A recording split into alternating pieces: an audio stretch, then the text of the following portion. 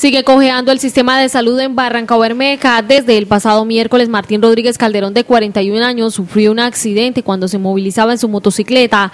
El hombre fue remitido a la clínica La Magdalena, sin embargo, según su cónyuge, aún no agilizan la cirugía que requiere o el traslado para la misma, pese a la gravedad de la fractura que presenta el paciente. Eh, mi esposo se accidentó hace cuatro días, fractura de fémur. Ese, hasta el momento, la clínica Magdalena no ha solucionado el traslado. Entonces el temor de nosotros como familiares es que los recursos del, del seguro se terminen y cuando ya se terminen entonces lo envían con ARS que es Sol Salud.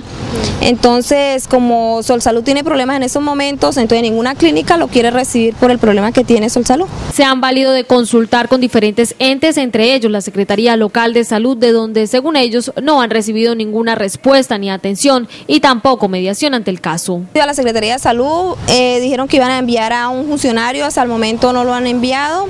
Eh, hemos tocado por todos los medios que nos colaboren, pero hasta el momento no hemos recibido ninguna ayuda. Hacen el llamado para que les colaboren y no se convierta este hombre en una víctima de la mala prestación del servicio. Que agilicen el proceso, que nos colaboren porque estamos desesperados de ver a mi esposo allá en la cama, cuatro días, no se puede mover, eh, no puede ir ni al baño, toca ayudarlo para hacerle todo y él se queja de mucho dolor.